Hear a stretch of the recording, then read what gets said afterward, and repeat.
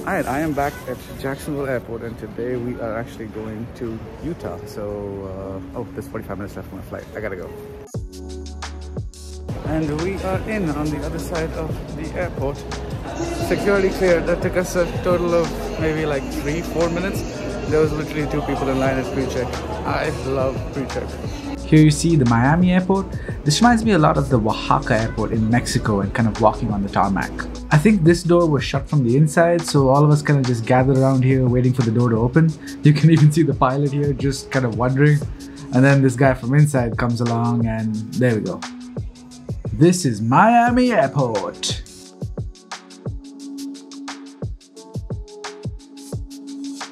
This airport is huge and it attracts all kinds of people. SkyTrain. Lost her mind. This is the SkyTrain station.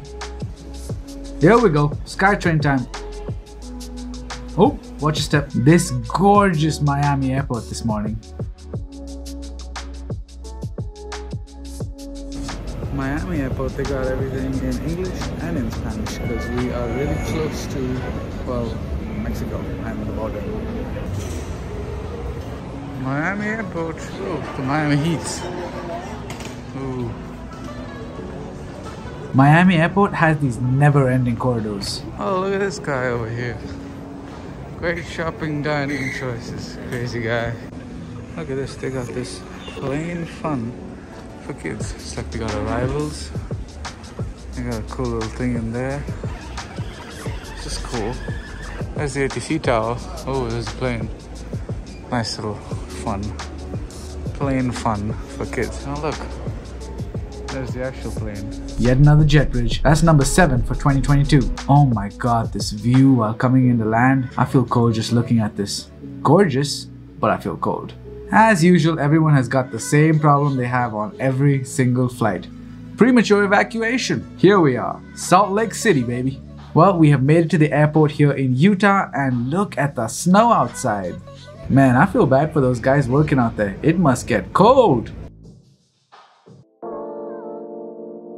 Look at all those departures. Holy wow, Salt Lake City is a busy airport. Alright, I made it over here to this Chinese food place. $10 plus tip, $15 for one single-sided meal. I decided to eat my food warm in the warm airport while watching the snow.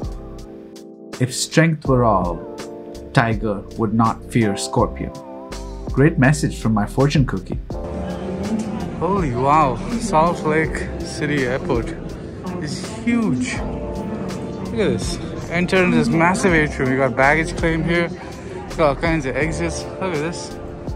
Got this like installation thing. We got this dude here. Man, this airport is huge. Alright, let's go get an Uber. Do you guys have a shuttle to Provo by any chance?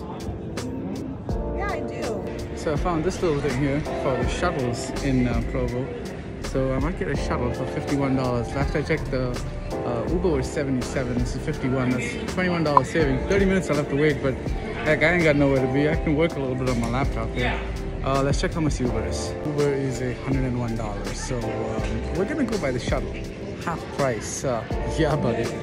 Holy snow, it's cold. I think that's ours. Canyon Transportation. He's just verifying that I'm on this shuttle. That one was not my shuttle. So we are waiting for a shuttle. There's another shuttle up there now that uh, other people are getting into. She said to sit here and uh, she will come and grab me. So I'm sitting here and uh, my bags. We ditched one of the big suitcases. So I just got one small suitcase and one backpack. Because domestically I don't have to check in a bag and it's just easier. Hopefully I packed enough warm clothes though for the snow. We'll see. Alright, this is our shuttle. We are here. Alright, made it here to Provo, Utah. Wow, look at that white in the back. That's because of the snow. It is snowing. Look at this. this. All this is snow here. Snow, snow, snow. Ah, ah, this is salt on the. Uh, I'll show you. I'll show you. This is salt over here. All this. Make sure we don't slip and fall, and also to make sure the snow melts. Well, we made it to the room. I didn't get a diamond upgrade, so it's a normal basic room. Still better than the rooms in India. Ah, beautiful, beautiful. And now I am looking out at the gorgeous river here, and we are gonna go out and explore a little bit. Maybe even take the drone up and see what kind of drone shots we can get from here.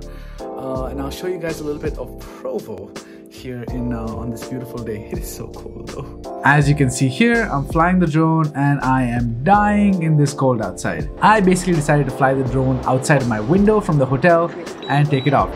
Trying to bring the drone in, guys. I'm here at the window. Look at this, this is what this is what I'm looking at. This is the window that I'm trying to fly that drone in through. It's up there in the sky. And you can see what the drone can see.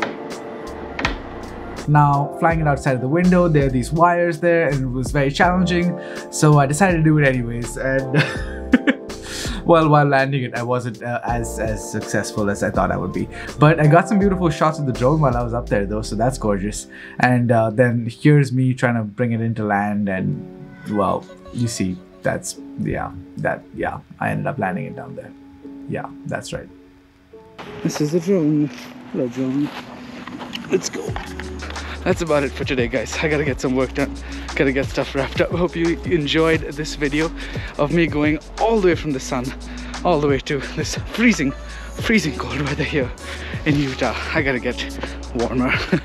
I gotta get more warm clothes. Well, hit that like button, subscribe down below as well. Don't slip on the snow. And I'll see you in the next one.